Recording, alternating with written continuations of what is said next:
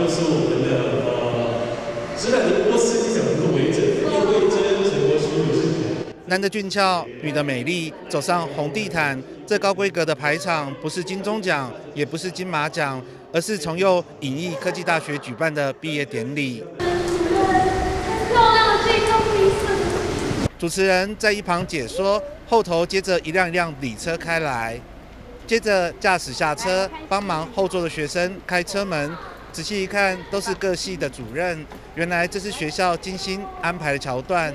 的礼车呢，会由各系的系主任亲自担任驾驶，替入围的同学来开车门，像嫁女儿的心情，用这样走红毯。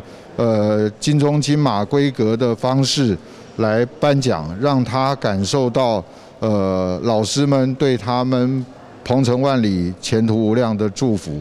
那么将来呢，这样的一个仪式也会成为我们从幼接下来的传统。毕业典礼走红地毯，让学生毕业倍感光荣，连讲座都是特别打造。最开心的是在学校的时候，其实老师都是陪着同学，比如说一起练功，然后学习这个业界上应该要有的技能。所以其实，在就学的过程中，也有很多在业界的呃工作机会。所以其实对于要毕业这件事情来讲呢，我觉得是准备好，而且是非常期待跟兴奋的。因为其实我们就是在把学校所学的技能，然后在业界。发挥，然后我觉得从又给了我们一个无惧的未来。谢谢呃系上的所有老师跟学校。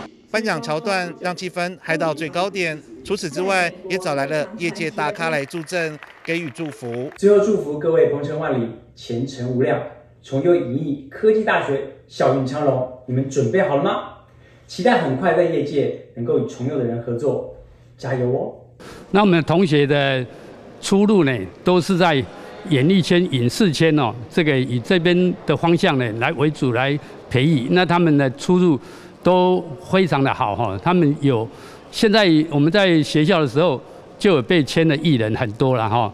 那我们都在这方面呢，我们在不管是老师也好、设备也好，各方面呢，我们都用到最高规格哈啊，那最好的设备、最优良的老师。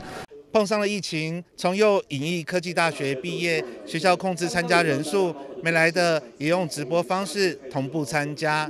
这一次我们是用直播的方式来做我们的毕业典礼，最主要我们是动员了我们演艺系跟表演系的学生来做音控，然后那边的学生在做音控那边，乐团的乐手跟我们就是专门在负责音响的让乐团的乐手跟那些人加起来差不多二十几个，然后在我们画面的直播上面，差不多我们动员了影视系的差不多十五位同学，在老师带领下，大家一起通力合作。